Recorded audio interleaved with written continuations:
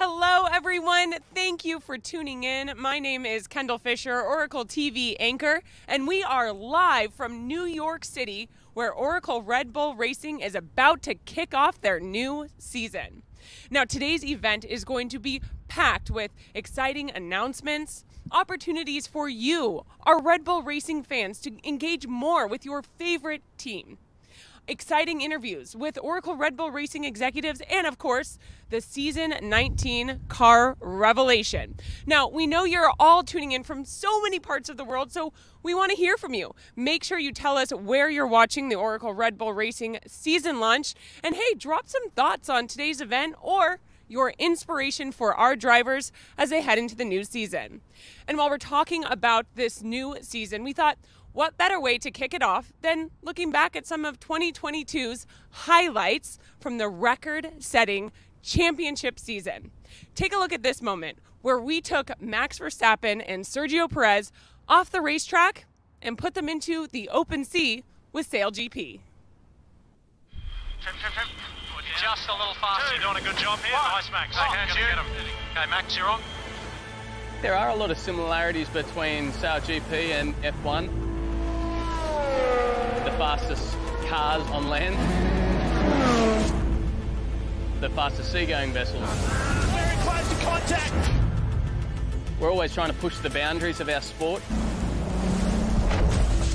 And we're going faster than we've ever gone before. Go on, Checo. Come on. We're gonna be doing some racing, but not on track. Nice, Max. You're going to get him. You're making me look bad, eh? These are two of the most technologically advanced sports, couple of big waves. Give me five more. and they are both running their strategy on Oracle Cloud infrastructure. Go, go, go, go, go, go.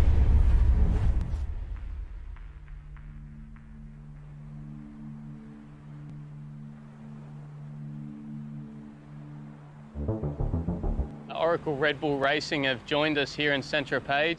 Oracle obviously being a sponsor of both SailGP and F1.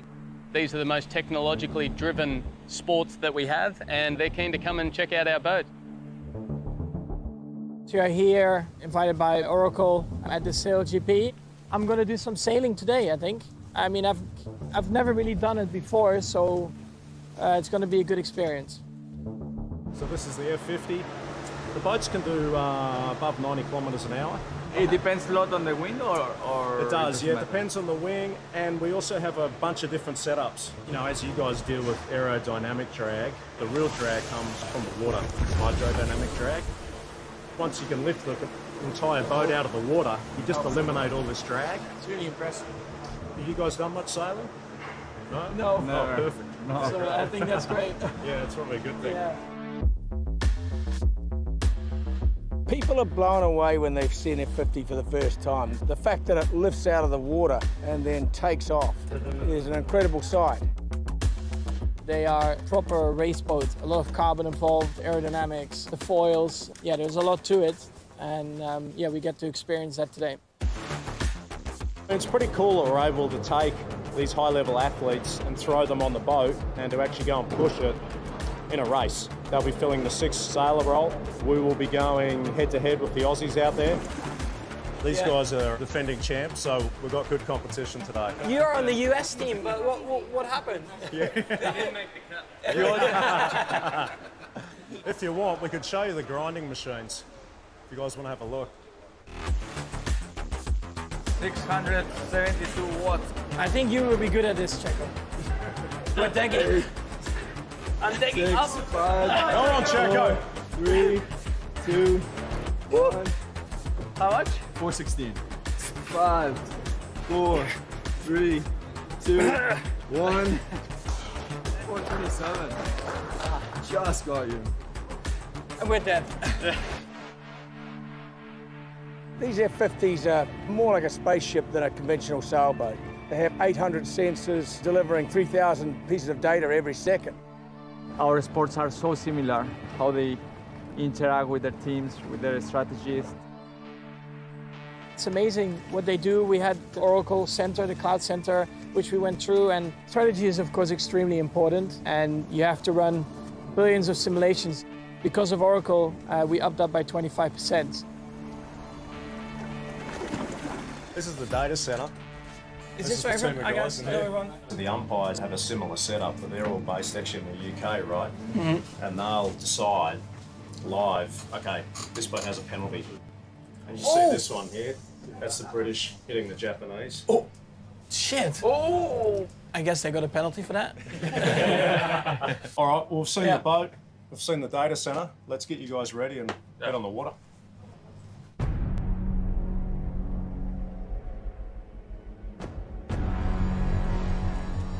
Hey Jimmy, I hear you've drafted a couple of new recruits to help you beat me. I've got Red Bull's finest, Tommy. See you on the water. Team USA, Team USA. This is the race committee for a radio check. Over. Yeah, hey Mel, you're a little soft in the comms. One two, one two. We'll do a little sailing just so you get a feel for it. If I feel comfortable. Yeah. What could possibly go wrong? Yep, speed. Racing. It's quite choppy, eh? One. Mark. And turning. Hey Max, you to have a steer, mate. It's pretty good. Go a little to the left. Yeah, Okay, okay. good. What's Yeah. it feel like to the car? It's a completely different experience, but it's really cool. You can sort of feel it slide, you know? It's a lot. Yeah. These boats have a GPS system on them. It's accurate to within two and a half centimetres. They're going at fast as us now? No. Faster. Two. A one. Lock. Inning. I'm gonna try. Whoa. All right, here he comes. Nice, mate. All good, mate? Yeah, all good. It's nice to see you. Ah, it's really cool. I think what they're going to do now is, I think we swap. I think Checo comes on. Yeah. Thanks, mate. So, so, Max, what was it like when the boat lifts out of the water? Yeah, I mean, I was really surprised how smooth it was. Actually, the the faster you go, I found that the easier I was to change uh, sides. 62, that's got to be when you were driving, I reckon. I was trying to keep my head down, but uh, Let's go, guys. I do some sailing. Wow. Hey, turning right. Yeah, turning, should be able to get it. okay, coming back, it'll be H1 out of this. Ah. And by tack, let's get stable here. Full speed out of this, guys. Full speed. And, and my rake. Keep it up, guys. Keep it up. Two, one. Ah. Trying to build. Hey, just uh, gonna take some rudder off so we get some diff. The inside on this here. Good pressure out of this. Only one thing. That was enough. Nice, Well done, mate. Checo, you're gonna swap with Max, so we need to give him your comms. What's the plan exactly? We're gonna set up, and there'll be a race. Basically, from there, we're gonna do attack, and then we can come straight back and finish in here. This is Team Australia. Do you have a, an approximate start time? Team Australia, Team USA. The start uh-huh. time is 13:55 local time. The course is as discussed. Right, Ed. I want you to fly it on the ragged edge today. So far this season, we're on top of the table. Look, we're going to be out there racing. We're not going to pull any punches. We're going to try to show them why the Aussies are on top, but it'll be interesting to see how USA go with a bit more racing experience. The countdown there says 348, 347. That's how long to the start. And you'll see the software will help us so we can be there right on time. Right, okay, yeah. By far the best position here. two, one, race start now.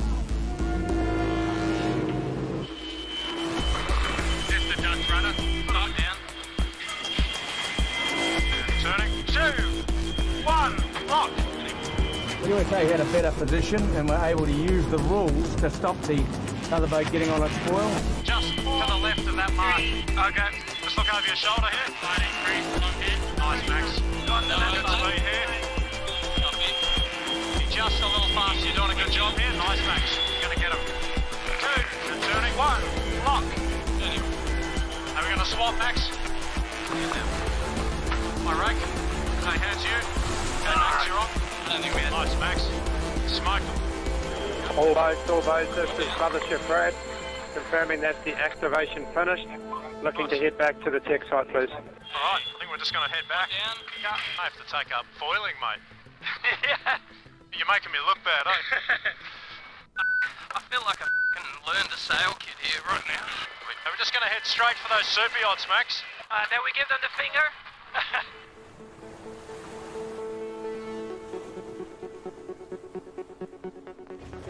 We survived. Very lovely. Yeah, I decided I quit Formula One. It was awesome to get both Max and Checo out there. I think I can safely say that Tom and I are really big fans of the F1, and those two drivers clearly are just good guys, but they were genuinely really excited about it. The first time you take off, you don't know what to expect, so you're just like trying to look at what they're doing and how they're balancing. So It was a really cool experience, and then at one point you get a bit confident in what you're doing, or at least trying to do. to get out there and see those guys getting out there and enjoying what we do for a living, uh, it was pretty cool. And seeing some of their reactions about some of the forces in the turns, that they really enjoyed it, that, that's great. It puts sailing on the map.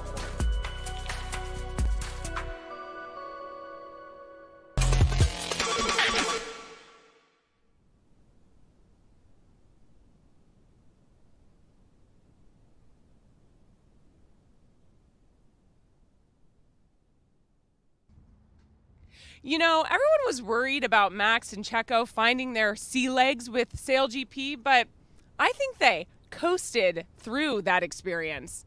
Okay, I won't be using any more sailing puns for today, but we will see Max and Checo later at today's event. But first, how about we take a look back at one of my personal favorite moments with Oracle Red Bull Racing when they visited the Oracle TV set at Cloud World 2022.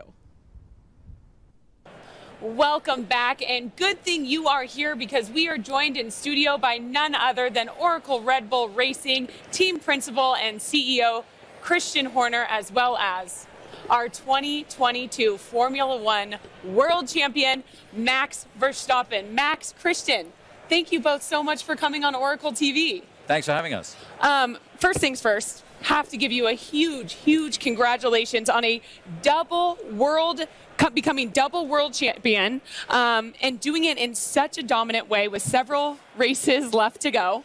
Um, not to mention, you are one of the few athletes in the sport to clinch that title back to back like that. Congratulations to you both. Thank you. Very exciting.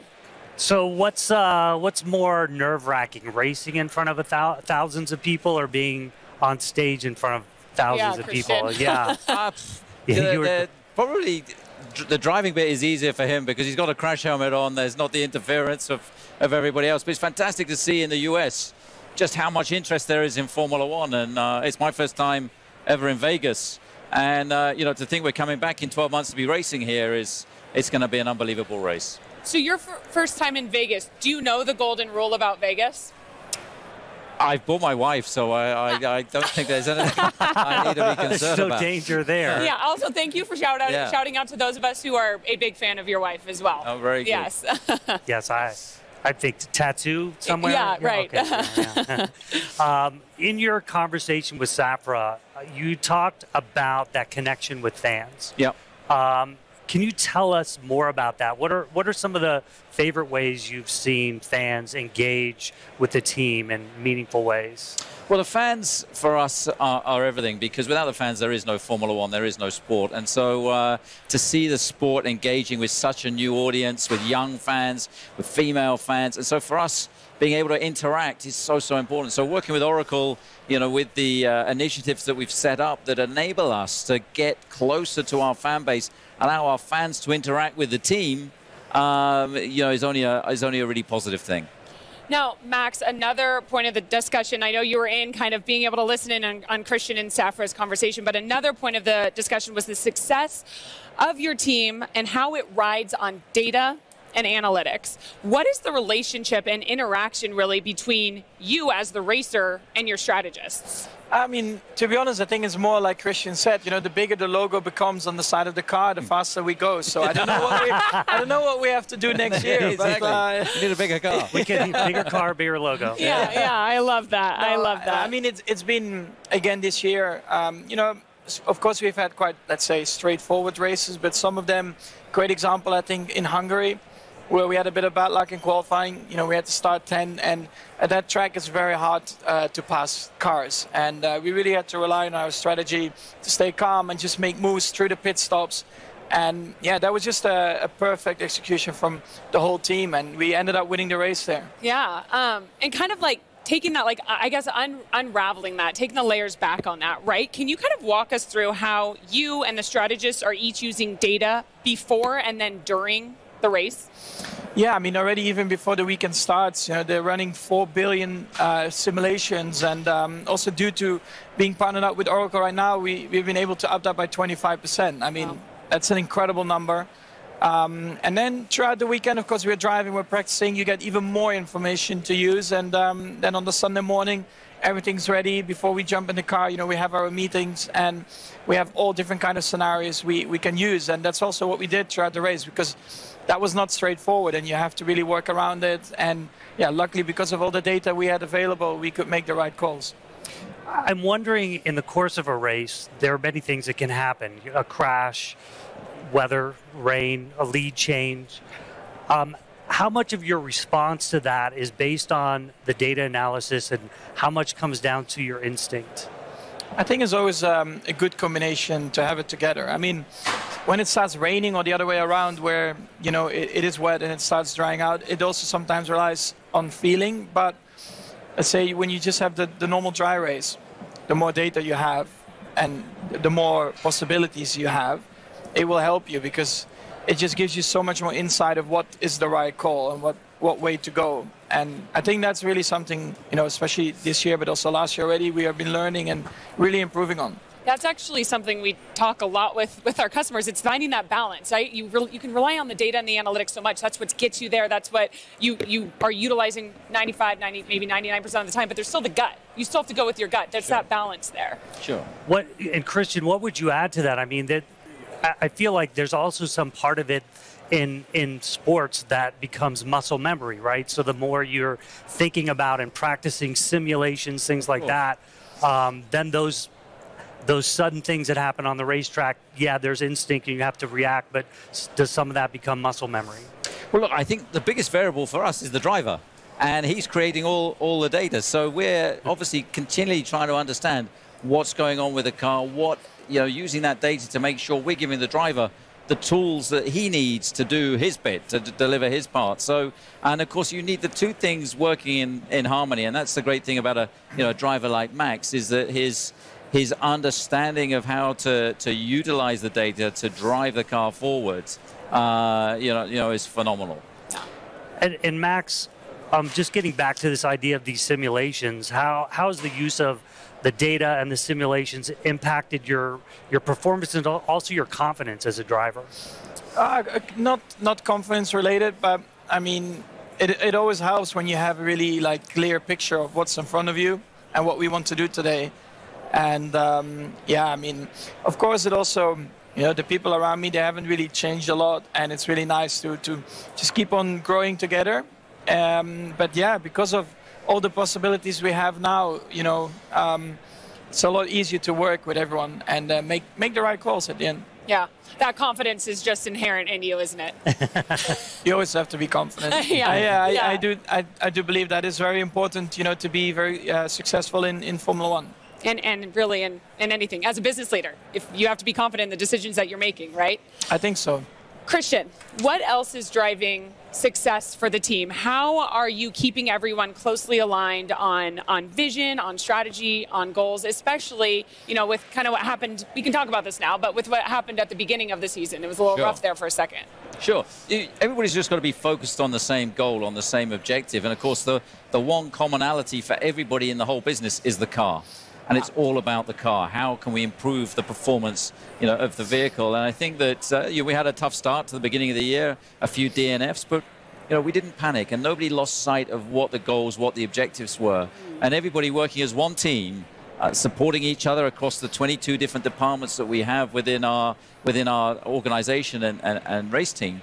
Yeah. Um, you know, working collectively to make sure we're delivering the performance, the reliability, the strategy to enable Max to do his job. Yeah, I love that you just brought that up. It's the vision and having that one goal. I don't know if you could hear on stage when you were getting ready to go up there, but we had Diane from Johnson Controls go up, yeah. and she talked about just that. They're going through a major transformation. They're constantly trying to get better. Um, they're even kind of kind of coming up with a new identity right now. Um, and she said but with all of that, and even with that change, we keep in mind what our vision is. We do not lose sight of that goal. So I think that's a, a really great connection, again, to business and to everything that, that we're talking about here.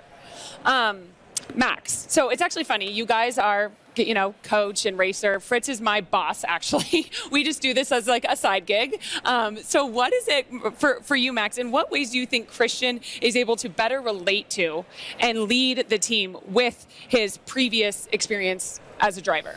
Yeah, I mean, I think it's really important for, for the whole team. I mean, Christian knows what he's talking about, and it also makes it a lot more enjoyable, you know, because in between uh, the session or before, you know, we're talking about what we're changing on the car, but then also talking to everyone within the team.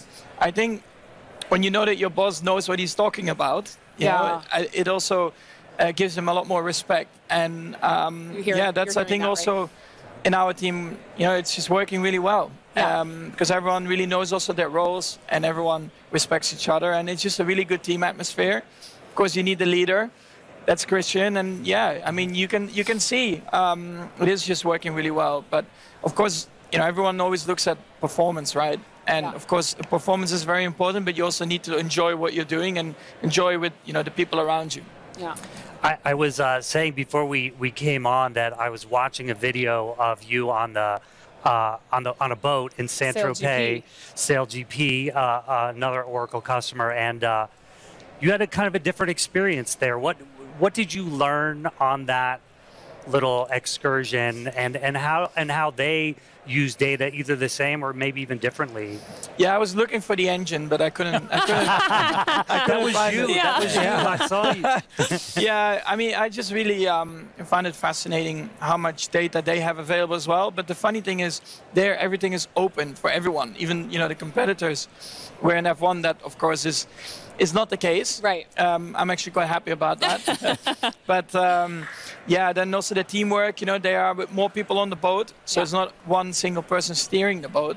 So again, there, like it's all about the communication as well between them. Yeah. Interesting. Yeah, I was thinking, well, what would it be like to have another person in the car? In what the if car. Christian was there? I would you not want to be in the car. Yeah. I'm, I'm, a bad passenger, and uh, you know these guys are just operating at a different level. Yeah. So, uh, so, so yeah, I definitely would not want to be in the vehicle. Yes, yes. We talked a little bit at the top about that fan experience, that fan engagement, and I think one of the things we heard also on stage was about engaging yeah. with customers. When you think about what you guys have been through and, and establishing that um, relationship with your fans, what are some of the things that other business leaders and other types of uh, companies, w- what could they learn from what you've learned? Well, Formula One and sport is polarizing, isn't it? And I think that you get you get fans of drivers, you get fans of of teams, fans of brands, and I think that you've got to understand who your fan base is. And and what's fantastic with Formula One at the moment is we're bringing all this new fan base into the sport, young. Uh, you know, a young demographic, a lot of females, a lot of girls getting involved and following Formula One for, for the first time. And for us, it's like, okay, how can we give them a better experience? Yeah. How can we make them feel part of the team? How can we get them to know the personalities and the drivers and the characters that are part of uh, this, you know, crazy circus that goes around the world to 24 races next year? So uh, for us, that's crucial. That's the way we're working with Oracle you know, with the CRM that we have and so on, is to, to be able to really engage and understand who our fan base is and, and interact uh, and offer the best fan experience. Yeah, that interaction is is key, right? So you can that's the only way you can understand them. And, and I'm wondering what some of those learnings have been. Like I see in other sports, as they try to open up their platform to more fans, they bring in the mascots, they bring in the halftime entertainment. What what are some of the things that you guys have learned so far I in that regard? Fans crave, you know, behind the scenes action. They want to know what's behind going on behind the cameras and so on. So I think that's you know we've introduced things like a, a you know series you know, behind the charge, mm-hmm. and uh, that gives a bit of an insight into some of the pressures these guys have, the team have got, the build-up to a Grand Prix weekend, uh, and just giving that that experience of being able to get behind the scenes and interact, you know, with uh, with the team. Yeah, Max, with the the fans being so closely kind of integrated into the Formula One experience now, what is that like as a driver? I mean, what what does that do for you? Well, I mean, um, I also have quite a few, like, let's say, home Grand Prix throughout the year.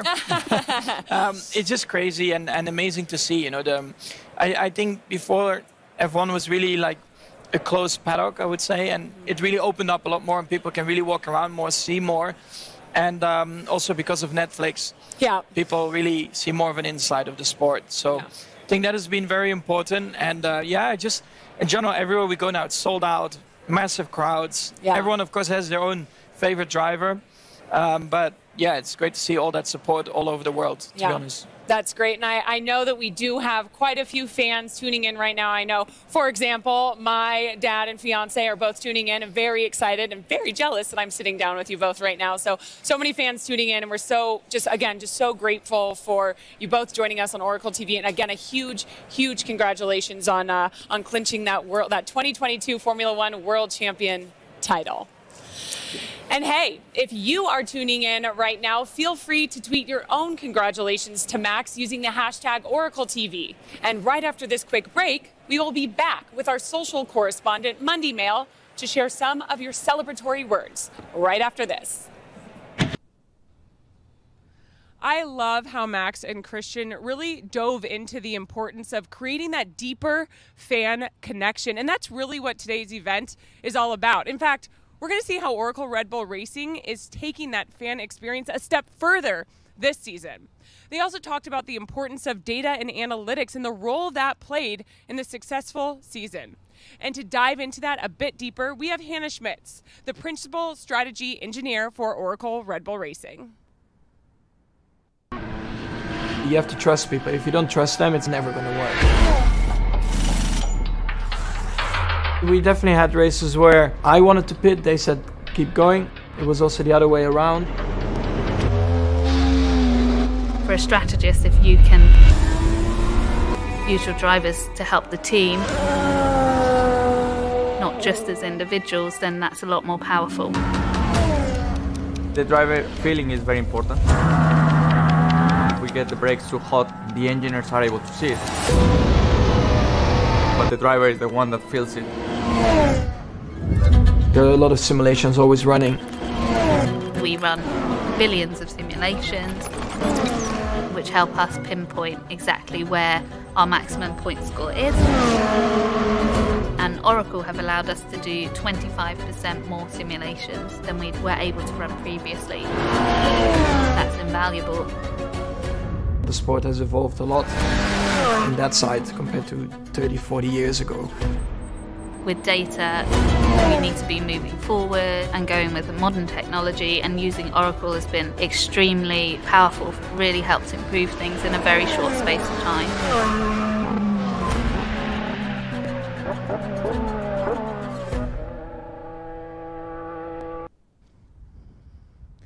We are so proud of how OCI brings those data and analytics to our Oracle Red Bull racing team to really prepare them for, well, anything. And we know that is going to come in handy this season as, dare I say it, we bring in that third championship title. And with that, I say we kick things off. Let's take it over to Oracle Red Bull Racing's season launch. Make sure you use the comments to chime in on any of today's awesome event and stay tuned afterwards for an interview between me and Oracle Red Bull Racing Director of Brand and Communications, Kelly Brittain, to hear how Oracle Red Bull Racing is really taking that fan experience a step further. See you then and enjoy the launch.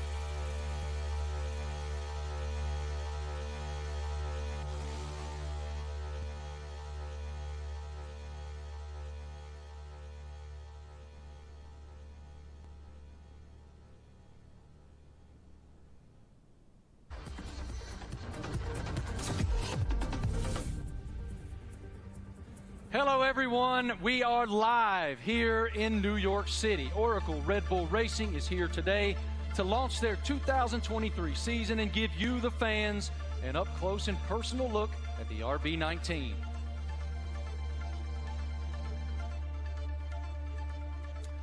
Hello, everyone. I'm Marty Smith, and joining me today is the lovely Giselle Zarzor. How'd I do? Uh, I'm yeah, working- I'm do- you're on- doing great. I'm working on that. I'm working. Yeah. We can already feel the energy in the room. It is electric. We have so much to share over the next hour. Today, you'll hear from two time world champion Max Verstappen. Let's hear it from Max, everybody. What a tremendous career is unfolding for him. And of course, today we have the Mexican Minister of Defense himself, Mr. Sergio Perez, aka Checo. Checo is. A lot of here. Mexicans here, huh? I know, I love it. Yeah. A lot of Checo fans. After the official announcement in 2022, we're finally welcoming home eight time Grand Prix winner Daniel Ricciardo is back with Oracle Red Bull for 2023 after four long years away. Hey, Marty. Hi, everyone. I'm thrilled to be here. Let me tell you that we'll also be joined by team principal and CEO Christian Horner. We will have a first look at the new team kit for 2023 and some very special guests. Of course, it wouldn't be a season launch without a sneak peek at the RB19. Stay tuned because this is to be quite the show. The Formula One team defended its driver championship with Max Verstappen. The 25 year old won a record breaking 15 races last year, including nine of the last 11 races. Max set the new mark for the most wins in an F1 season. What an unbelievable year. Tremendous year in 2022 for Max. Oracle Red Bull Racing also won the Constructors' Championship in 2022 and were the only team to have both cars start in the top four in every Grand Prix last season. I think we'd all agree 2022 was a fantastic year to say the least. I want to take a moment to thank the thousands of fans around the globe who are streaming this event today. Wherever you're watching from today, you're in for quite a treat. Over the next hour, we'll take you into the world of Oracle Red Bull Racing. We'll cover where we've been, where we're going, and everything in between. As always, a massive hello to our members of the paddock and those streaming the event online. A reminder for you all these can be found at redbullracing.com forward slash the paddock. The paddock is Oracle Red Bull Racing fantastic loyalty platform where fans can earn points, claim rewards, and enter unique competition. But much more on that later. Those Eagle Eye viewers may notice hidden paddock codes throughout the show, a way to redeem points and prize online. One thing that's always true of the Oracle Red Bull Racing team their willingness to take the road less traveled.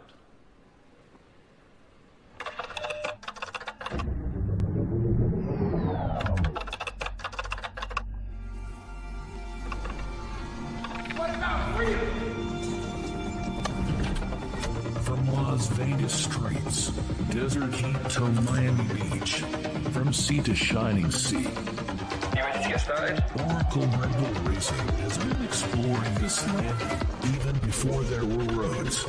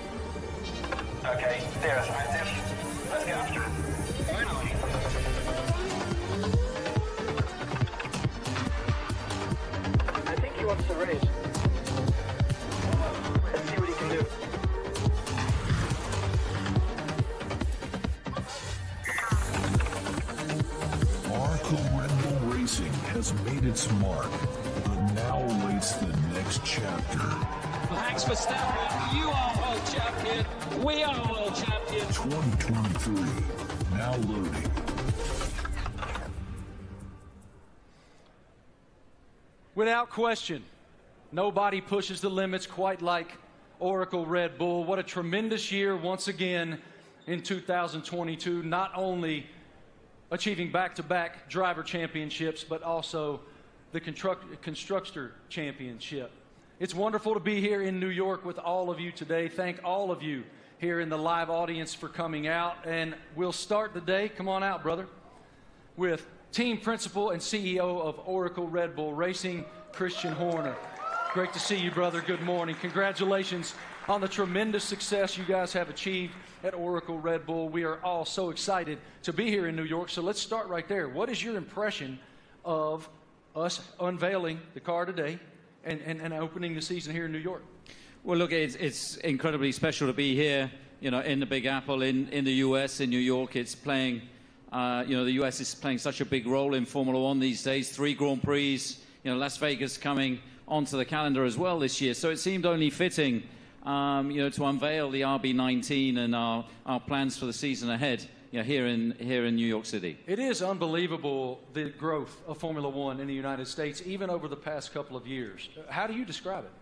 It's been massive, and uh, you know, it's just been fantastic to see the U.S. really embracing Formula One. And uh, you know, we started with a race in Austin, and then Miami introduced last year, uh, and of course Vegas coming this year. And we're seeing the U.S. really engaging. Uh, you know, in Formula One and everything that's going on, we're seeing a much younger demographic, a much younger fan base coming into the sport as well. And uh, you know, we now have so many U.S. partners. It's uh, it's a really exciting time for Formula One, and you know, to particularly in uh, in the United States. And the team performed extremely well, both in Austin and in Miami. What were the keys to you guys doing so well here in the U.S.? Um, well, all races carry the same points, but they were two big races that we wanted to win. And Miami, being the first race, was a, a super tight race. And I think that, uh, you know, that was a, a, big race for Max to win, a really tight race. And then, of course, in Austin, it was a, a weekend that was, uh, you know, quite an emotional weekend. We lost our founder and chairman, Dietrich Mateschitz. And, uh, you know, we had the opportunity to win the Constructors' Championship for the first time in eight years. And uh, on Sunday, you know, Max winning that race, uh, you know, Checo uh, up there on the podium as well, converted those points to, to win uh, and bring home that Constructors' Championship. You noted the co-founder of Red Bull, Dietrich Mateschitz. Uh, I know you had quite a relationship with him. How do you define the emotion that you guys were experiencing there in Austin, and what is his influence? Well, of course, he was a, a huge influence in everything that we did. It was his passion uh, not just within Red Bull Racing, but the whole Red Bull group. And, uh, you know, that lives on today. And, um, you know, the passion, uh, the determination, the fact that, you know, we're mavericks, we're pushing the boundary, we're doing things differently. And then, you know, hence we're here, the only team to announce in, in, in the US. And, uh, you know, we're getting on with uh, and preparing for the season ahead. We're very exciting uh, about it. We've got tremendous support from, from Red Bull and the shareholders. And looking see, forward to this this busy season in 2023? Uh, I was going to ask you, what are, what's your perspective for 2023 with Red Bull and Honda? Well, it's going to be a, a, an incredible season. Our, our, rivals, you know, for sure, um, you know, haven't stood still. So, you know, we're expecting you know, Ferrari to be competitive, Mercedes uh, are going to be there. You know, there's some other teams that could well make some big progress as well. So, this time of year, it's it's all a big unknown, and it's a question of focusing on ourselves, on doing the best that we can and then in Bahrain, in a couple of weeks' time, we'll get to see everybody's uh, everybody's car, and we'll realize, you know, have we missed something? Have we not? And then we set off on this 23 race journey between you know March and November, and uh, you know there's going to be highs and lows along the way, I'm sure, but I think we're in a good place and looking to carry on that momentum from last year. As we noted just a moment ago, one of the most impressive parts of 2022 was the fact that you guys started in the top four in every single Grand Prix during the season. Define for me what that means. Like, what is the challenge to achieve that? Well, I think consistency is incredibly important, and I think that you know what we achieved last year with you know, 17 victories out of 22 races, two out of the three sprint races.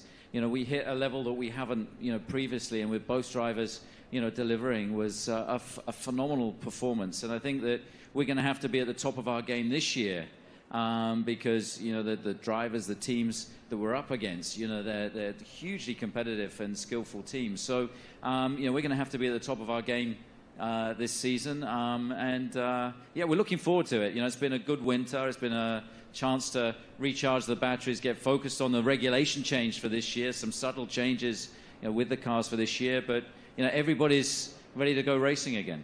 And what can you share with us about Grand Toro 2023? I know it's a huge initiative. Yeah, it's a big initiative. It's something that uh, we did in Europe um, last year, which is basically, uh, well, I don't think you can call it a rally, but it's um, a bunch of enthusiasts in, in very nice cars going from, from um, the UK to Austria. Last year, we're doing that, going to do that again in Europe. Um, and we're going to do a, a, a, road trip as well from, um, you know, in the build up to, to the Vegas race from uh, Los Angeles across. So that's a, that's a great initiative. We met some great people and fans of the team on that. And the drivers are going to get involved. Um, you know, Daniel and David Coulthard will be getting involved in that. Really appreciate your perspective, your leadership of the program. Thank you so much, Christian. We'll see much more of you here in just a bit. Right now, folks, let's take a moment to celebrate some of the athletes from the world of Red Bull. As one of the most visible sponsors in extreme sports globally, Red Bull is an energy drink that broke the mold of what's expected from a brand.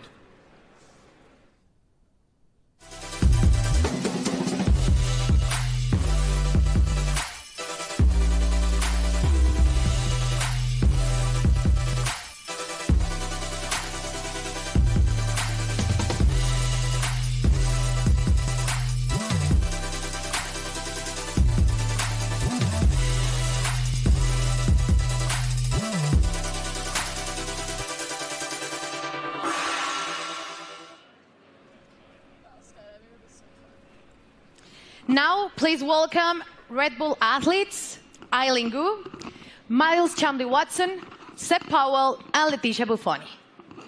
So let's start with you, Eileen. Uh, at only 19 years old, you're Olympic champion, professional freestyle skier. I would like to highlight some of your uh, that you have some of the highlights of your career. You're the youngest Olympic champion in freestyle skiing, one of only a handful free skiers to compete in all three disciplines, and first freestyle skier to win three medals at a single Winter Olympic. Welcome. How are you? Thank you so much for having me. I'm super excited to be here. I love F1 so much, and it's really exciting to be such a be a part of this monumental event um, and to share it with all these incredible athletes. Now, tell me, Eileen, um, you know, Red Bull Racing just won two championships in a row, something pretty difficult to achieve. What's the key in your sport that allows you to keep to continue to perform at the top level? Absolutely. I think sports are so physical, right? But a huge part of it really is mental. And a lot of people sometimes overlook that. There's so much mental training that goes into it learning to deal with pressure, learning to love pressure, learning to overcome it, and learning to be the best version of yourself when the world is watching. And I think that's something that Red Bull does so well because Red Bull strikes this incredible balance of both symbolizing the epitome of everything that action sports are, while also building this family and this sense of community. So we all love what we do so much. We're all the best in the world at it, and somehow we're all best friends with each other. So that's something that's really incredible. You talk about balance, and tell, please tell me, how do you balance and prioritize all the aspects of your life? From being a professional athlete, a model, attending Stanford, you seem to be equally driven in all of these activities. I'm actually in my midterms right now. Um, I wrote my philosophy paper on the way over on the red eye. So that's how I balance it. um, yeah, so I think for me, everything comes down to passion. I love fashion because I think it's so personal and expressive. And it's a way that I can really be myself through the way that I look.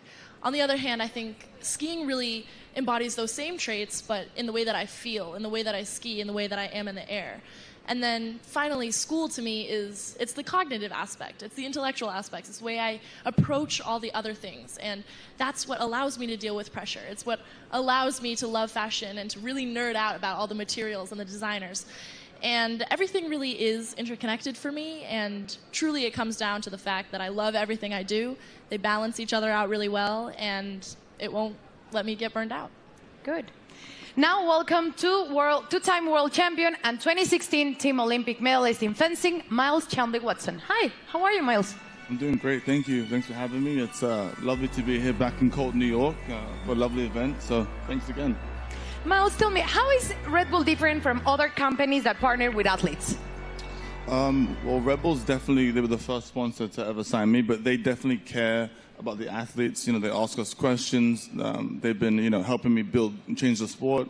Um, and they're very, you know, encouraging and always behind me, which is something that, as a partner, I always look to have. Uh, and they're just amazing people. And it's not really a sponsorship; it's a family, which is, I think, everybody up here, you know, I love. I see them around the world, and it's like truly a family. So that's how they're different in many ways. Now tell me, what attracted to you to F1? Um, I mean, as a kid growing up in London, I've always loved F1. I've always loved driving fast, um, and I'm, I'm, obviously heavily invested. And I just think what they do is, it's honestly incredible. And then when you get to see it up close, you really get to see that they do put their lives on the line. Um, and I think the TV doesn't do justice. So like when you go and see a race, you really see like how mad they are, and it's really incredible to see. So, yeah. Perfect. Now, next up fresh of X Games in Aspen is 23-year-old Zeb Powell. Hi, Zeb. How are you? I'm doing good. How are you? All good, thank you. Can you describe your unique style of riding and please explain me what is the knuckle huck?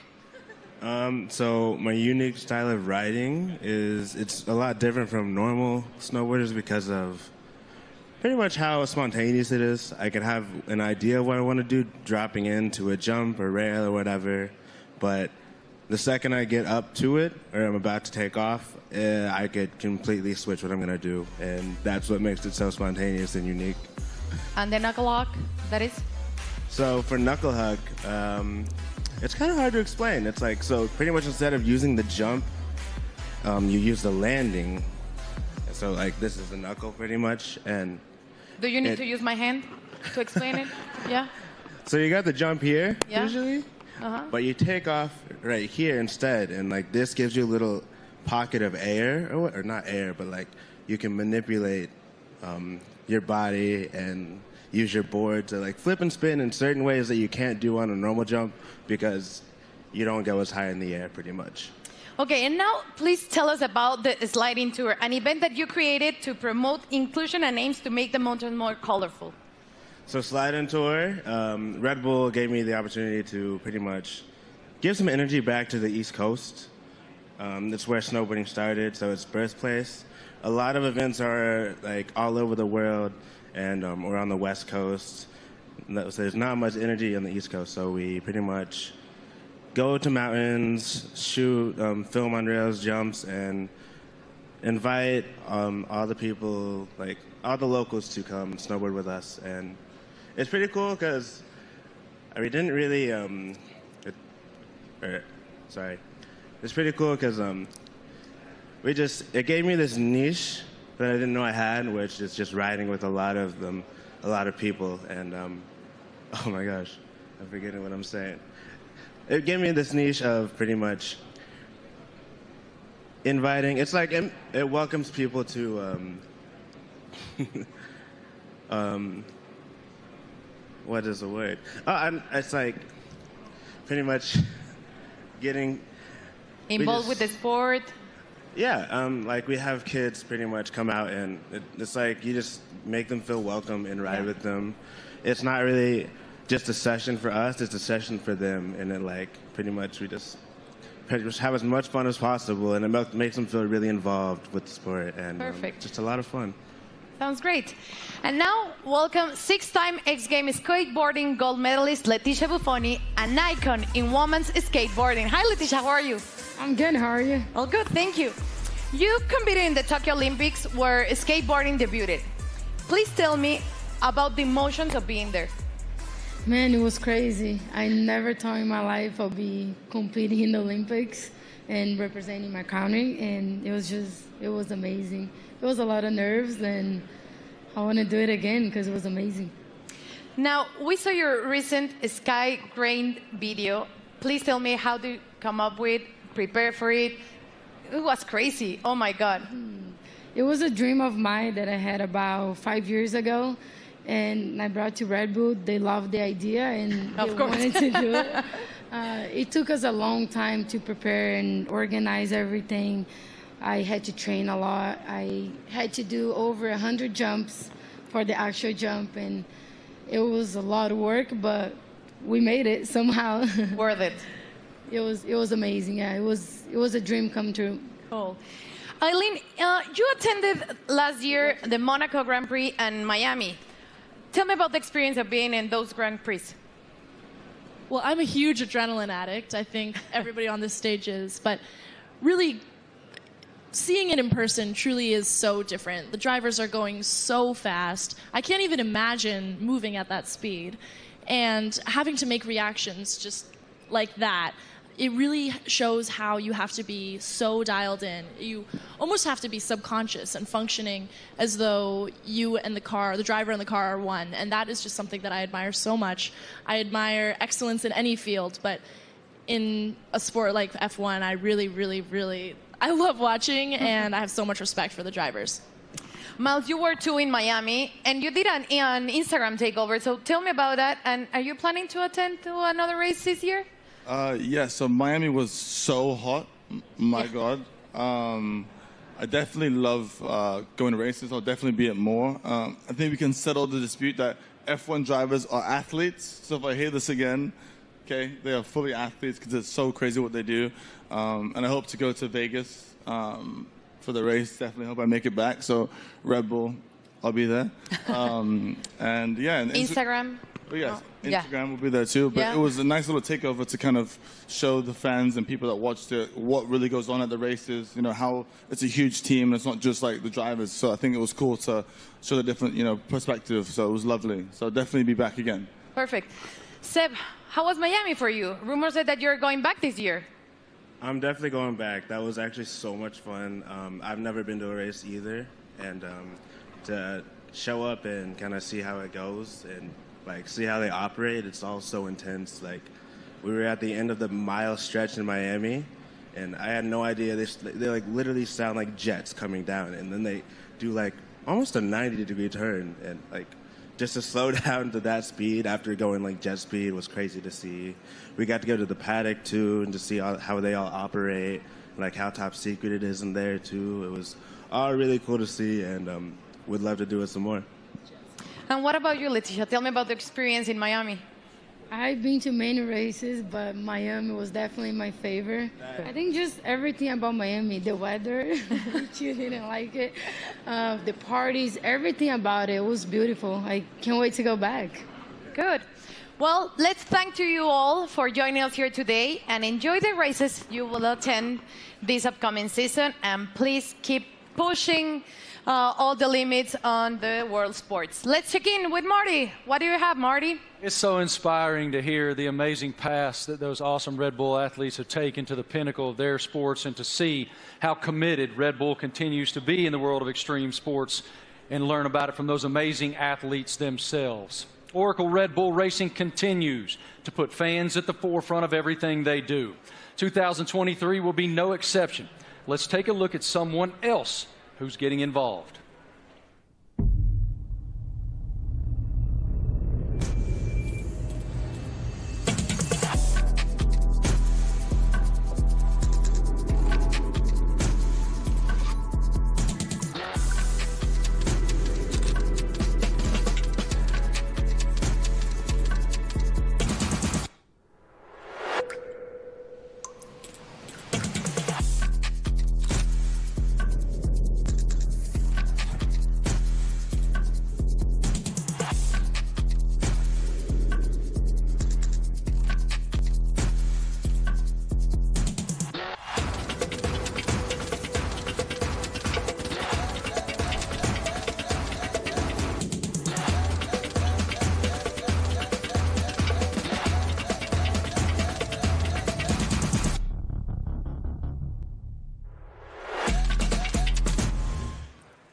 Cool is that? I mean, that is that is cool, and I'm actually a little disappointed. I got to be honest. I thought Christian was going to show up today wearing that suit. Yeah, it was im- Why didn't you get that suit, man? You'd look fantastic in that suit. It is time now uh, to talk about an exciting opportunity for all of you at home to get more involved with Oracle Red Bull Racing than ever before. We're launching a competition called Make Your Mark, powered by Oracle. Christian, what more can you tell us about this initiative? Well, this is very much about getting the fans involved in uh, the livery and the look of the car. So, for the uh, the three US races that we have this year, for the for the first time ever, we're going to get the fans involved to uh, create the livery for those three races. It's going to be a competition. It's a huge opportunity, and we've thought long and hard about it. But we know uh, it's what people want to want to see to be able to get involved, and this is your chance uh, to be able to do that. So for the first race, obviously U.S. race in May in Miami, um, the competition opens, uh, I think, today, um, and uh, to you know get involved and come up with some interesting liveries that there'll be then a, a panel of judges and uh, and we'll pick out the best and most striking ones for, for these three How iconic fun. races. How fun. I mean, what an awesome initiative to get the fans even more involved than, than, than, than they've, they've ever been. For more information on this, guys, uh, make your mark. You can, be, you can go to the paddock, and no doubt across social media, you'll see so much more on this initiative in the foreseeable future. Head to redbullracing.com forward slash the paddock to find out more. Absolutely awesome, awesome opportunity for the fans. It sounds amazing, and definitely I'm going to get on board. Something special happening here with Mr. Doodle and the RB14 show car, right? Yeah, so we saw the, the video of Mr. Doodle there um, taking one of our uh, you know old show cars, and, and he's done a unique uh, livery on it. You can see it's, it's it's pretty special. It's a piece of art. Now that we're going to auction that car for you know our charity, our nominated charity, Wings for Life, uh, and every single penny um, from that auction for that car um, is going to go to the charity. So the auction again is going to open. I think it opens today um, through Christie's, and uh, yeah, hopefully. I mean, it's going to look great in somebody's living room. Um, Yours? Or it's on somebody's wall. I mean, it's a fantastic piece of piece of art. You'd have to stay. And I mean, this guy, he's doodled his entire house. Uh, he lives in a house that looks like Did that. he do your house? Um, no. Um, but uh, Max, you know, saw him doing it, was hugely impressed. So uh, maybe he's going to put in a bid as well. So what you're telling me is when you guys get to Miami, it's Max who's going to be wearing that suit. Well, you, you, you never know. But uh, yeah, look, this is a, a really cool initiative to, to buy, you know, one of our former cars. They're not, you know, we don't sell many many cars. It is a show car, but you know, in this unique uh, doodle livery. Um, and every single penny going towards, you know, Wings for Life that's looking to find a cure for spinal cord uh, injury and damage. I love that it benefits Wings for Life. That is that is wonderful. Okay, guys, now we're going to hang out with a very special person, and we're going to welcome him back home to the world of Oracle Red Bull Racing. It's our boy, and we're happy to have him back.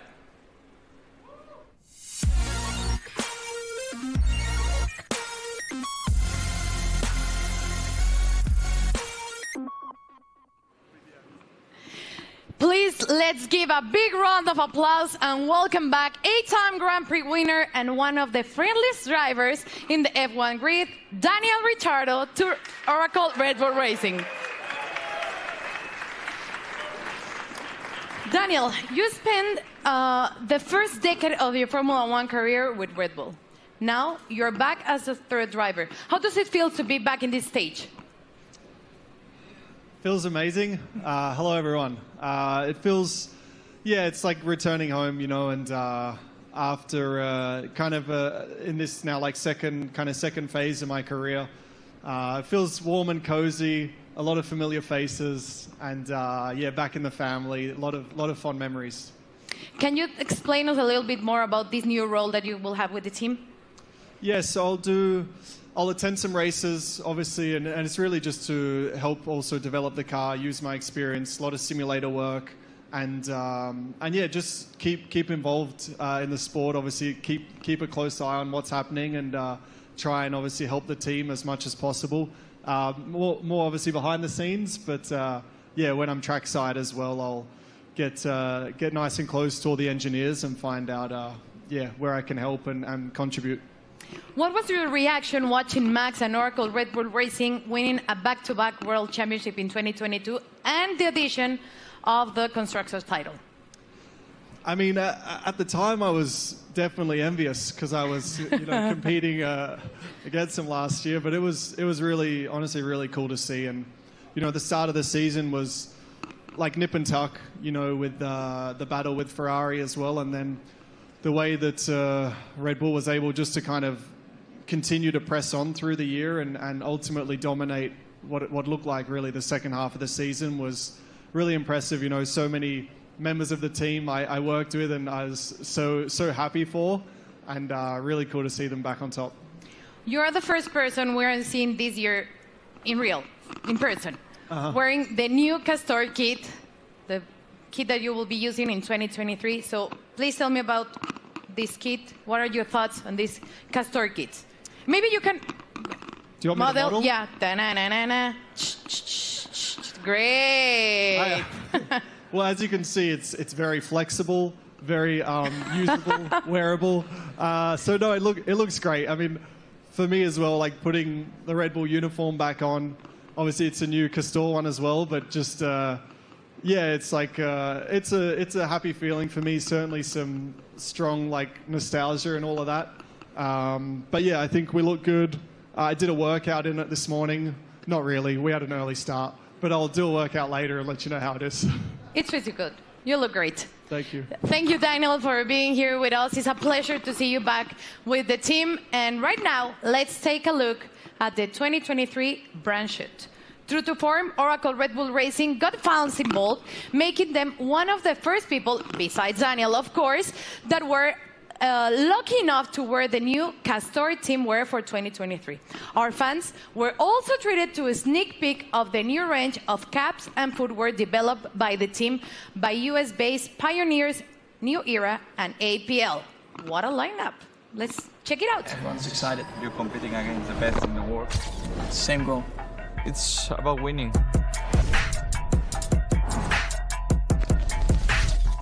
But for me, the most important thing is that I can be myself and really express myself. It's about what people don't see. Like they say, it's what you do in the shadow. It definitely is a very big team effort. At the end of the day, it's all to try and push the team forward. They give everything. We are all in that car, although I'm driving.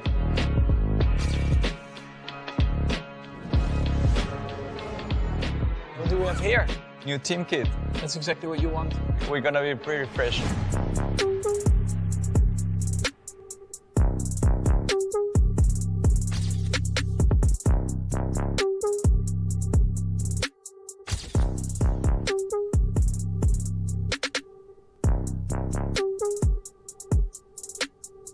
Um, I'm still, you know, growing, learning, getting more experience um, on track, off track, in general in life. Uh, to be honest, my goal uh, is just to try and be better again.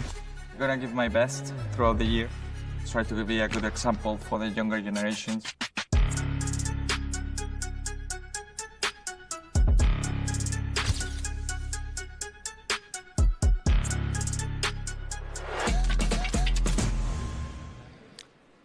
All right, ladies and gentlemen, the stars of the show are here. Say hello to two time defending Formula One world champion Max Verstappen, Checo Perez, and of course, we welcome back Christian Horner, team principal as well. Checo, I want to start with you. Welcome to New York, man. What should it tell us that Oracle Red Bull decided to have the season launch right here in the United States of America? Yeah, well, I think it's growing so much in the US, the support for, for our team. Uh, everywhere where we go, you know, we have already three races in the US, and we can see that definitely we're getting a lot of support.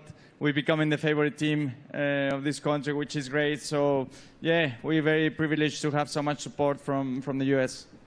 Max, it's one thing to win one world championship. Obviously, it's a dream, but to defend it is an entirely different challenge. Why were you and your team able to do that?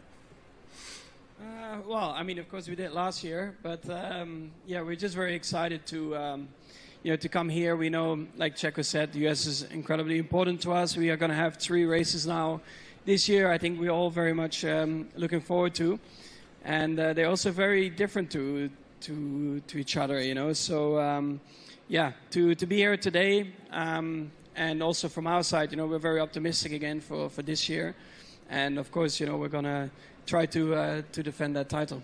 Checo, as we discussed earlier with Christian, um, you guys were the only team to have to start in the top four in every Grand Prix of 2020. What's the challenge of accomplishing that?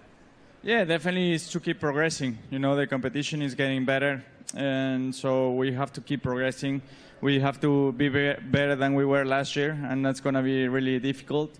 Uh, but as a team, we, we're giving everything. You know, it's been a very busy winter for, for all of us, so we're really looking forward to the start of the season. One of your main jobs, Christian, is to try to achieve something that resembles harmony within the organization. What is the challenge when you have two world class championship caliber teams battling against one another to maintain that harmony? Well, we're, we're very lucky. We've got two two fantastic drivers, and uh, you know their combined efforts the last two years have been been stunning. Obviously, you know that first drivers' world championship for Max in 21, and then you know the uh, the double championship last year, and uh, you know winning 17 Grand Prix between the two of them, and uh, you know first and third in the in, in the drivers' championship, and of course bringing home that constructors' championship back to Oracle Red Bull Racing for the first time in eight years, and uh, you, you know these guys. Uh, you know, I think it's the best pairing we've ever had in, in Formula One. It's uh, been hugely successful, and um, you know we're going to need every bit of that this year as we go against some some big opponents. Um, you know, with uh, you know with the other teams looking to come back at us uh, after you know such a dominant dominant season last year. But uh, you know we're very fortunate to have two two such talented drivers. Max, you don't strike me as someone who rests very much. You seem to continue to want to push and find the maximum performance within yourself. But as you have reflected on back to back championships, how do you define what you've achieved so far? Um, yeah, of course, uh, it's been great. Um, when you're a little kid and you're working towards your, your dream, your goal, first of all, that is to try and become a Formula One driver. Then, of course, the next steps are about trying to win a race, you know, put the car on pole, and then eventually the big dream is, of course, to win a championship. And uh, once I, I achieved that, of course, for me, like, um, a lot of pressure fell off my, my shoulders because I felt like I had every, like achieved everything I wanted um, in my sporting career. But then it's all about trying to stay there because that's probably even harder than getting there. Um, and that's why I think last year was a very good test, you know, to see if we could do that. But also from my side, you know, I constantly try to, to improve myself because nobody is perfect. And I think try, throughout your whole career, I think you are always improving, learning uh, from just general life experiences, but also on track. You know, there are always things that you can do better, and that's always what I'm I'm questioning myself, asking myself, where can I be better? And that's of course what I'll try to do again this year. Best of luck. Uh, a tremendous season ahead uh, with so much promise. What are you most looking forward to in the coming season? Well, definitely to have a, a good time with the team and to improve what we've done last year. And um, yeah, I think if we're able to do that, then it will be a, a great season. You know, it's such a long, long year ahead that the, the, we, we just have to be make sure we are full of energy, which we are fully recharged and ready to go for, for this new season. Well, what you've built is a championship expectation now. So, how do you define success in 2023 for this program? Well, it's a, a different situation for us. You know, defending those titles, we go from being the, the hunter to the hunted, and I think that uh, you know everybody in the team is is so motivated and, and fully up for this challenge. I think you know having tasted that success last year, you know some subtle regulation changes for this year. Um, you know, everybody back in the factory is is just pushing flat out, and uh, you know we're excited to see the car for the run for the first time. Um, only three days of testing before we go racing. Um, and and then you know, as these guys say, it's it's going to be nine months traveling around the world, uh, you know, racing at all these different venues, and uh, it's going to be, I, I think, an incredibly competitive year this year. For both of you, here in the United States, we're seeing this explosion of popularity in Formula One. How do you describe the global passion of the F1 fan base? Um, well, I think you know new ownership um, definitely focused more on the on the US as well because we knew that we were definitely lacking there still. So they definitely have done an incredible job in in boosting it in the US, and then of course also through Netflix. I guess everyone in here has Netflix, so um, They're we- here. They're here somewhere, brother. yeah, I signed my life away. you watch a lot of Netflix, right? So, of course, having the series on, on Netflix helped a lot to get a bit more of an insight of, of everyone's uh, racing career because it always felt like probably F1 was quite a closed environment you couldn't really get into. So when you have a bit more behind the scenes, uh, like cameras and footage, I think that uh, that helped a lot. That you can see a little bit more of the the personality behind it as well. When you go home to Mexico, it is crazy. How do you describe the passion of the fans? Yeah, certainly the the passion uh, of the sport has grown a lot. You know, like Max says, you know, I think certainly Netflix has has put the people, the fans, a little bit closer to to the drivers, to the teams. They're more into what we go through, you know, because we go through so much for nine months a year. You know, uh, we have good days, bad days, so we show a lot of emotions. And the fans are always with us, you know, so we are very privileged to, to have them and the, to, to receive the support we get, you know. So, yeah, I'm extremely lucky to have the amount of support I, I get around the, around the world and especially here in the U.S. Love it. Christian, what is the team's plan for show runs in 2023? Well, we've got a, a, a busy, um, you know, uh, events ahead of us. We got, I think we're doing about 20 show runs. So, uh, you know, Daniel um, being back in the team, he's going to be driving at all kinds of different venues, and uh, you know, this includes two in the U.S. Um, they're going to be announced, uh, you know, in Chicago and Nashville. Um, so uh, yeah, we're looking forward to taking Formula One to the people, and uh, you know, the show runs have been tremendously successful in terms of just exposing Formula One, seeing these cars where you wouldn't expect to see them, and uh, you know, lighting up the streets in Chicago and Nashville is going to be a, a lot of fun this year. Really appreciate your perspective, gentlemen. Thank you so much. And I got to tell you, Christian, Daniel Ricciardo let loose in Nashville, Tennessee, unsupervised is a scary, scary thing. Oracle Red Bull Racing has always pushed the limits on where to go next. Let's take a look at the ultimate road trip across America from Oracle Red Bull Racing. Initiate car drop, Manhattan, Nevada.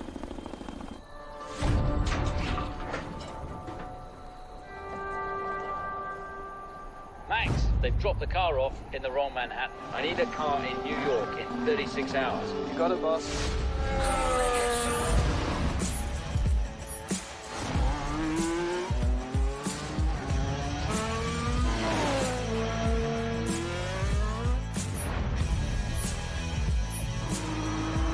I Can't wait to race these streets. It's going to be even better when there's no traffic ahead of you. Max, get to Austin and hand over to Checo. Hell yeah. Max Verstappen, you are world champion. We are world champion. Thanks, amigo.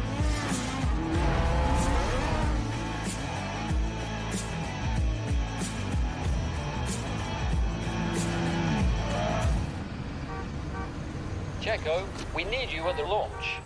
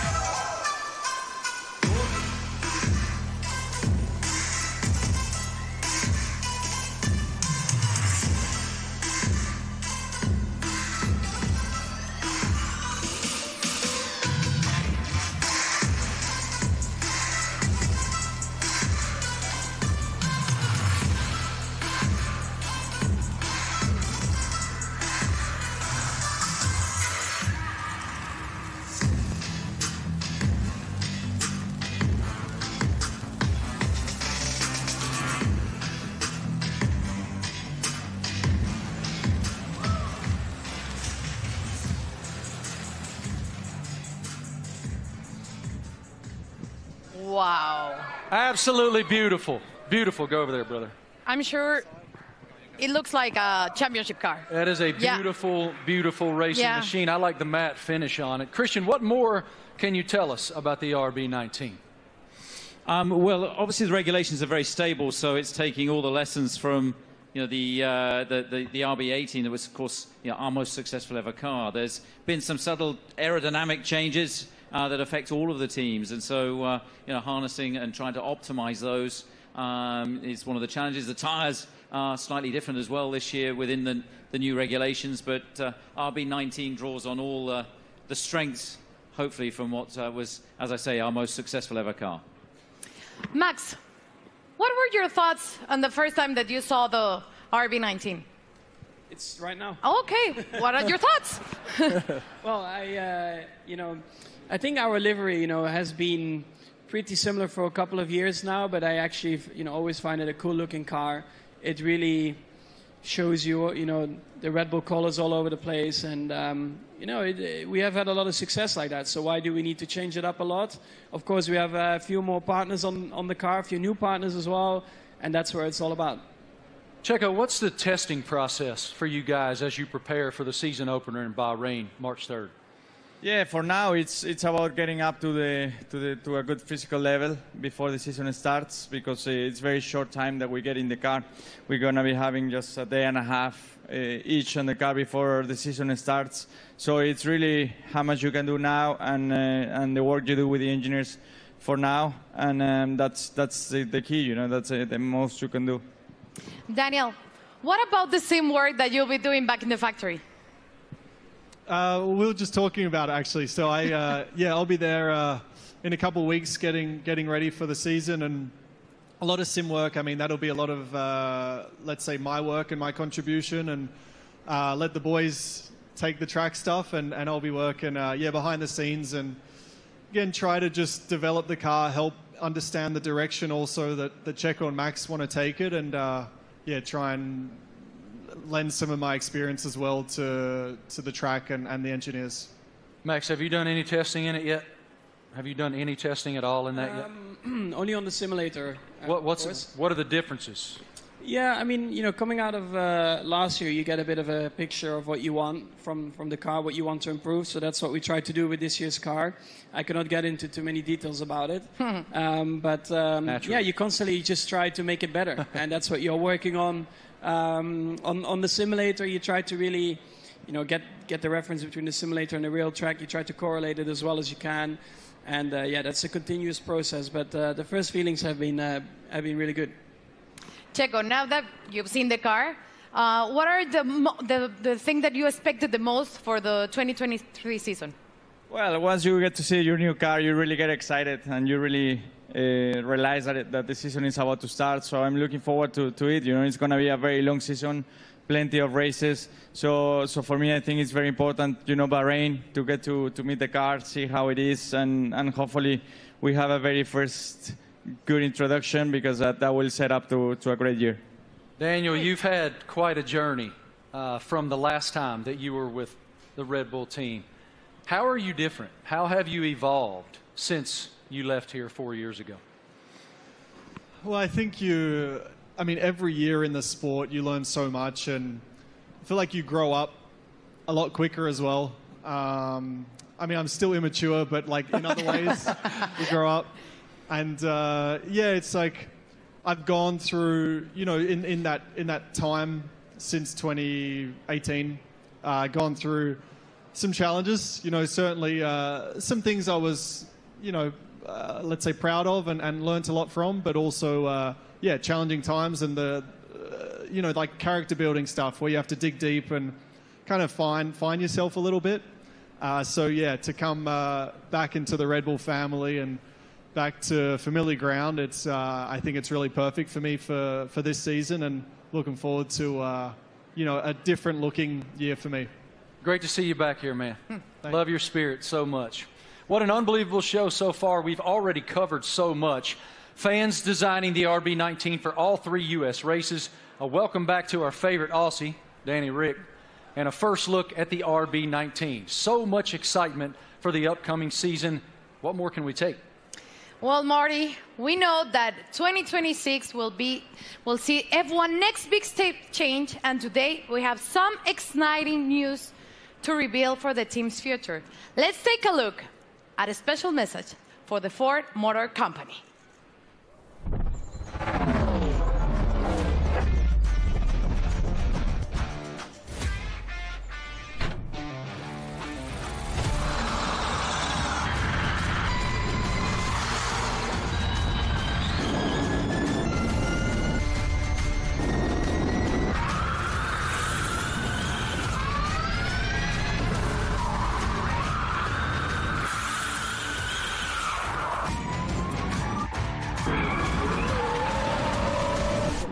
Great experience. Ladies and gentlemen, welcome now the president and CEO of Ford Motor Company, Jim Farley. This is huge news to round out our launch event here in New York. Here he comes, as you can see, in a Red Bull themed E Ford.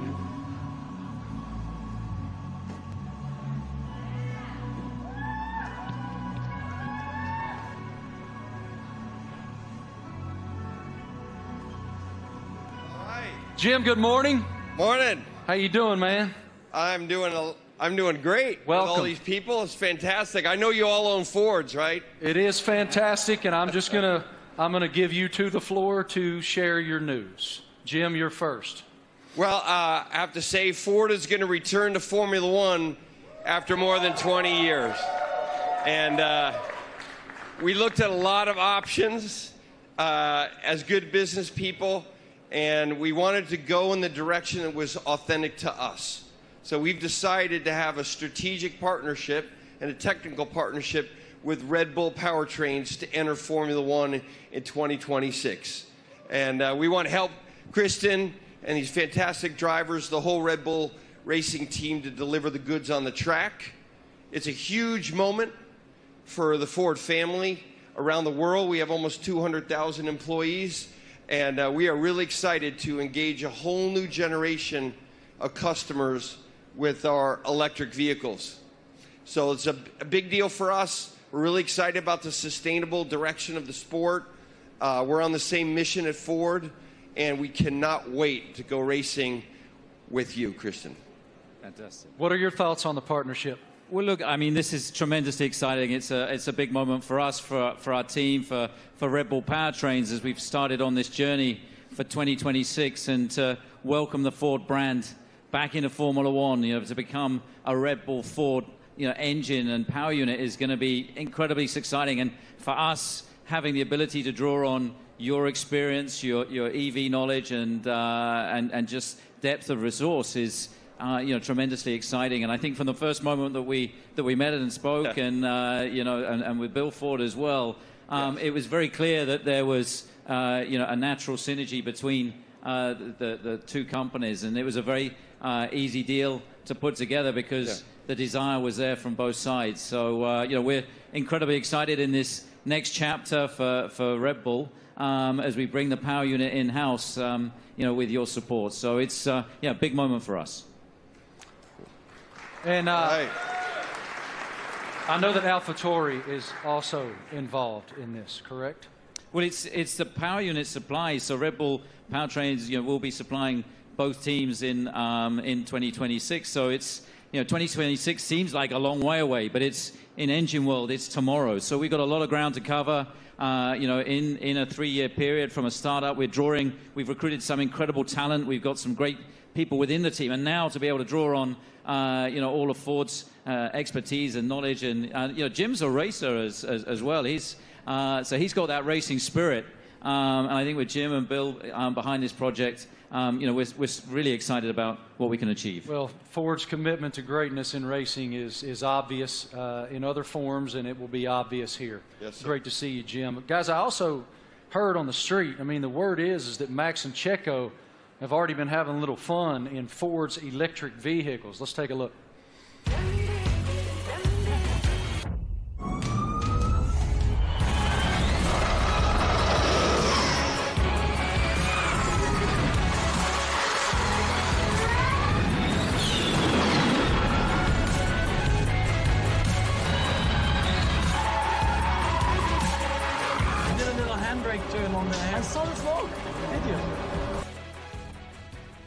Max, I don't know much, man, but it looked like that super van could go, brother. What was it like driving that thing?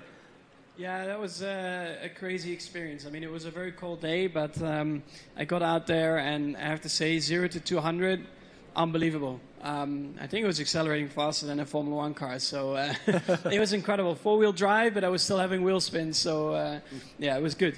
It was a, a very fun day as well. Checo, you had the chance to drive the incredible Mach E 1400 in Atlanta. How did it go? Yeah, I had a lot of fun in, in Road Atlanta. Actually, it was a great track, and uh, it was really funny and uh, yeah, the, the amount of power you get through through the four wheels, it, it was pretty impressive. And um, yeah, I was pretty shocked also with the amount of downforce we had. So it was a great preparation for the season. And Max, what experience did you got with the Ford cards? Yeah, it was a great experience. Like we had a few models there, and um, also the F-150 Lightning. I think the Mach-E was there, basically, like it is there. And uh, yeah, um, I got to experience it all. You know, the power, but also the comfort. Um, so yeah, it was a, a, great day. I got everything was like was explained well to me. And um, the funny thing for me also to find out was that um, the F-150. Um, that if you have a problem with your house and you have no power, it can power your house for three days. So if I ever have an issue, I know what to do. Good. How, how are they going to leave you out of this? What, what, what are they doing? What, what, what are you doing with the, the new Ford vehicle? uh, we'll, we'll see. I, I'm off to Detroit next week, so uh, I'm sure we'll have a bit of fun there. And uh, my one of my go-tos, or my uh, well, it's yeah, I have a Raptor, so. That's what I was going to say. I heard you had a Raptor. I, I'm a truck guy, so yeah, I uh, I bought a Raptor, yeah, like five six years ago, and uh, and I love it. So um, that's that's a little bit of the uh, the Aussie in me as well, you know, with a big big kind of we call them Utes, but they're called trucks out here. You already poking Jim to make sure that you get the best opportunity up there at Ford in Detroit. Already. He's ready. I love it. Thank you guys so much. We appreciate your insight. Let's take a look at another video.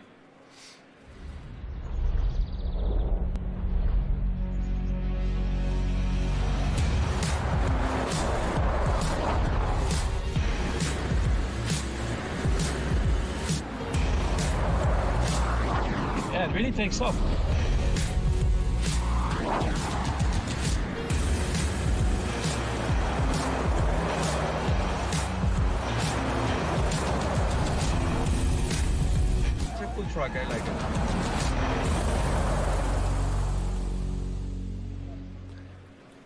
So cool. Ladies and gentlemen, we have one more very special guest today here in New York City. Can you please extend a huge welcome to the head of Formula One himself, Mr. Stefano Domenicali.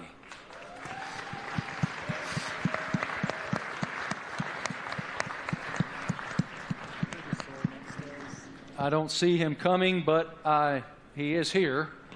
Uh, he's here somewhere. Is Stefano coming? Knock, knock. knock, knock. Is it Stefano? He's on the way. Yeah. okay, he's coming. He's coming. He's hiding. Yeah. In the meantime, Yeah. uh, how do you how do you hope to be an ear and give some insight to these guys? I know you're going to spend a lot of time in the sim too.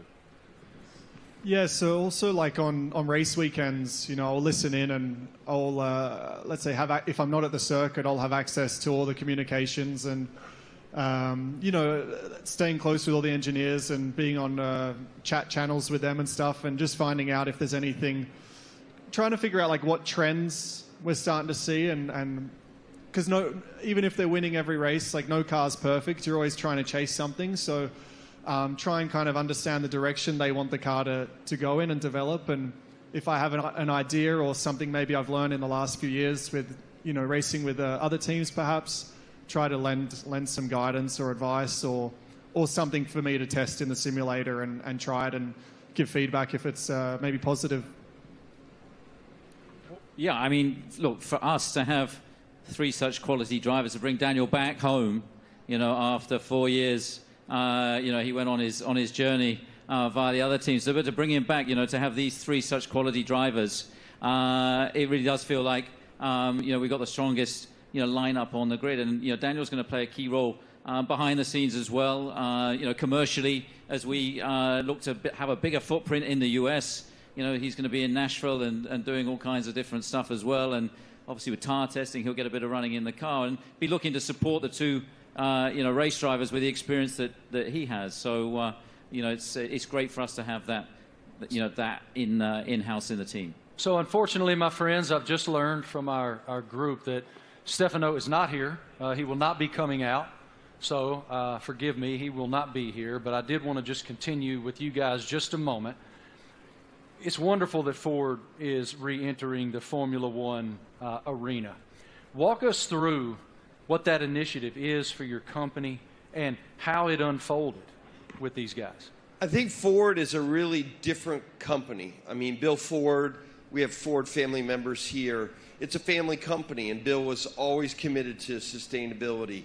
Um, and it's about time that the management team catch up with his vision. I mean, our, our idea is we don't want to make generic cars. We don't make kind of the faceless vehicles. We want to have vehicles with an attitude.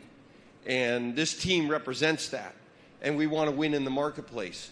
But we want to go electric and we want to go we want to be able to ship software to our cars to to have someone go 0 to 60 faster because we threw you know we we sent software to the car. Um, that digital product, that electric product's coming out in the next couple of years. And we're really excited to work with this team on the technology side and also learn from them. The best aerodynamicists in the world are in Formula One at Red Bull. And the most important thing about making a small battery, because the battery is so expensive, is aerodynamics. So we can learn a lot from Formula One like we did in the 70s and 80s, but for a while it didn't, the tech didn't transfer. Now it can. So we want to take the technology and we also want to expose a whole new generation of Americans to EVs so that they're not this boring point A to point B cars, they're trucks and personality vehicles. That's the strategy of the company. Christian, this is a, such an exciting, exciting time to be in Red Bull uh, racing. Can you tell us about how do you define the magnitude of this area in, for the team? Well, I think it's it's a huge um, you know era for, for the team, and of course, as we transition into these new regulations into 2026, for us strategically, it was really important to have you know the right partner. As Formula One moves to you know pretty much a 50-50 split between hybridization and and combustion power, and and so for us, you know, setting out on that journey, we wanted to have a like-minded partner, and uh, you know, in Ford with the commitment that you guys have got to, to the whole EV strategy and so on, um, you know, we've we found that, and uh, you know, it's great to see the Ford brand coming back into into Formula One. Formula One is is is in such great shape at the moment with other manufacturers you know, joining us uh, as well in time for 2026. And the competition is going to be incredibly hot, but uh, I think the foundations that we're laying, um, you know, and the time that we have uh, in the build-up to 2026, we're, we're tremendously excited and very proud today to announce and welcome, you know, Ford uh, to, uh, to the Red Bull family. Us too. Thank you guys all so much for your time today, for your perspective, your insight, your passion. Everyone here and everyone watching all across the world appreciates what you do and admires what all of you do. Thank you. It is wonderful that Ford is back in Formula One. The RB19 looks amazing. Thank you all so much for joining us today for the Oracle Red Bull Racing season launch here in New York City. The team is very much looking forward to the 2023 season with the ultimate goal of fighting for another F1 World Championship. A reminder for Red Bull Racing content, head online to the paddock. It's where you'll be able to watch race highlights, read driver interviews, and get up close with behind the scenes insight throughout the season. This is all waiting for you at redbullracing.com forward slash the paddock. Have a great day, guys. Thank you. On behalf of the racing team and our partners, thank you for watching.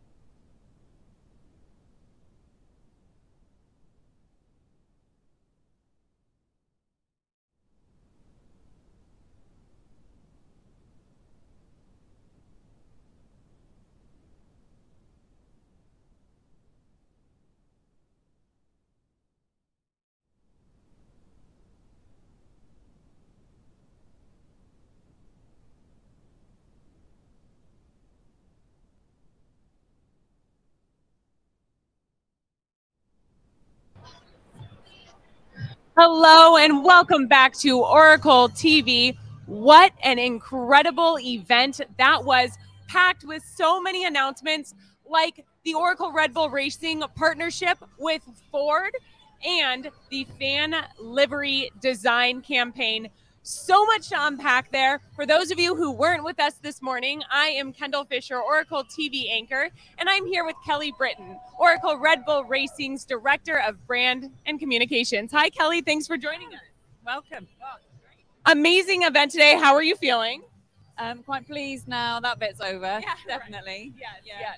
All right. Well, like I just noted, we announced the fan livery design campaign, which is incredible. But for those of you who maybe missed it, or some people might be in shock about the opportunity, can you provide a quick recap?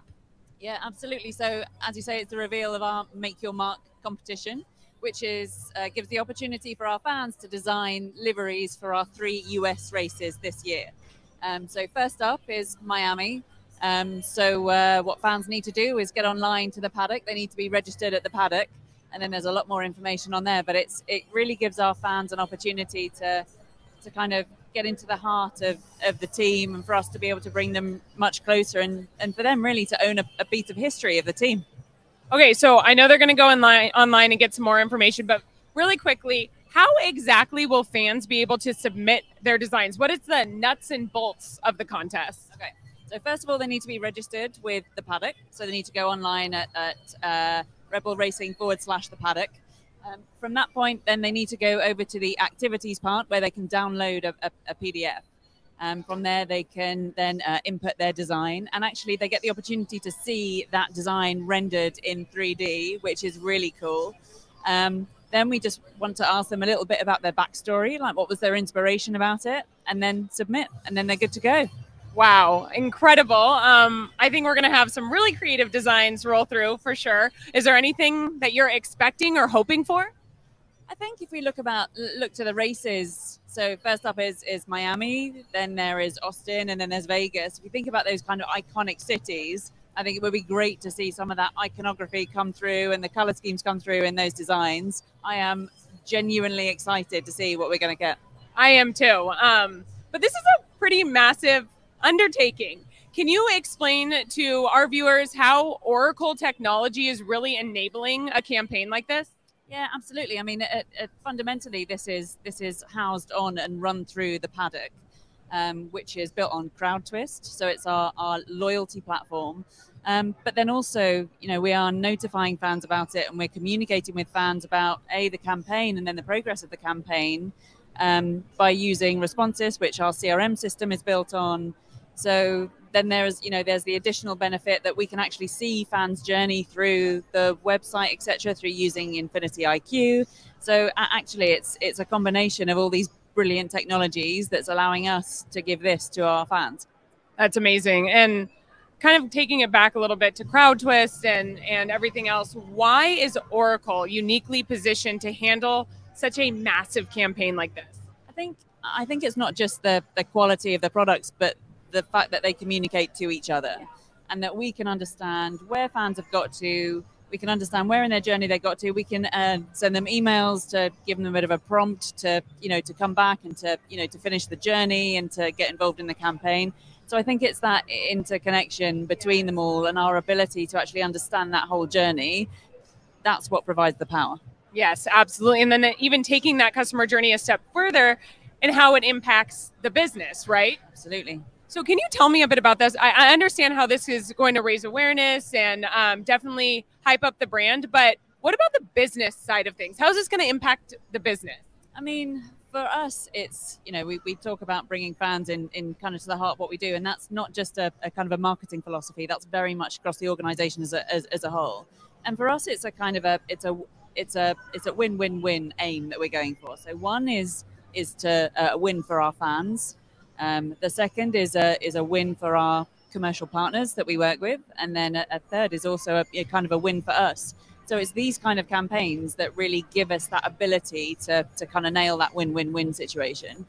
And then we've got sort of specific strategic imperatives that really sit behind that. And, and one is is kind of winning in the US, and what you've seen today is kind of a core part of that. Um, but that's really what's what's at the heart is that win-win-win. Well, and speaking of, you know, you've been winning with your fan base. You have passionate fans all over the world. You have passionate fans here in the U.S. I know we're building upon that, but what is this um, initiative going to bring that's different? Why did you guys need to do this? I think it's it's you're right. We are we do have a lot of passionate fans, and we are you know we can kind of consider ourselves fan fueled. This is about giving back to fans and and you know having them be seen. So having their their submissions actually vetted by our, you know, by our um, our kind of our board, um, and for them to, to really own that sort of part in the in the team's history. So really, it's it's it's a bit of a reward, a bit of getting them closer and bringing them into the heart through, you know, for their brilliant support that we've had throughout the season, and then hopefully, kind of, you know, igniting that support as we go into into 2023. Absolutely. Um, you know, we are talking to business leaders across all different industries of all different sizes and all different areas. Taking this kind of out of Oracle Red Bull Racing, out of sports, and looking at this more generally, what is the importance of deepening your fan base, um, especially with a creative campaign like this? I think it's all the, the sort of ancillary opportunities that come with actually having a known fan base. But for us, it is that it, it is genuinely about understanding more, having data on our fans, knowing what, what drives them, what drives their engagement, so that ultimately we can continue to fuel that engagement. That that is I think everything else, if you if you can genuinely nail that, then all of the commercial opportunities and the you know the, the, the further partnership opportunities they come as long as you are genuinely you know holding fans really central and you understand the kind of data and insight that that come with that. Well, you are certainly doing that. And what a way to kickstart this season with this campaign. We cannot wait to follow along. And speaking of the kickoff to the season, what else can we expect from the upcoming year?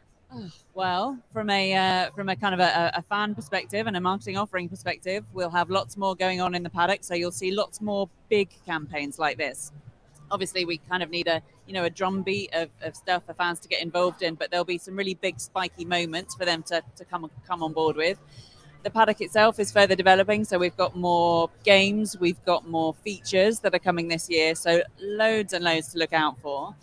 And i think in terms of the you know the team and the business as a whole i would love a crystal ball. I don't have it but i think you know with the car and, and the and the lineup that we've got i think we're as well positioned as we can be. So I think it's fingers crossed. Let's bring in that third championship title in a row. That would be good. Well, thank you so much, Kelly, for joining us. Like I said, we look forward to the season ahead and the fan livery design campaign and how all of that will roll out. So thank you for joining us. And thank you for tuning in. This was such an awesome event. We loved being here with you. And hey, there's going to be tons more content to come all season long. So if you're not already, make sure you give us a follow and a subscribe no matter what channel you're tuning in from so you don't miss a thing. We'll be back here soon. See you later.